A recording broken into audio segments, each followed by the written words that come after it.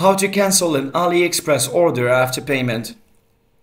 Hello, have you changed your mind about an AliExpress order? Here's a quick guide on how to cancel it after payment. First of all, check your order status. So open AliExpress, the application or the website, navigate to My Orders to find your recent purchases, then ensure the order is still in a status that allows cancellation. For example, pending or processing. To request cancellation, find the order you want to cancel, then open the order details page.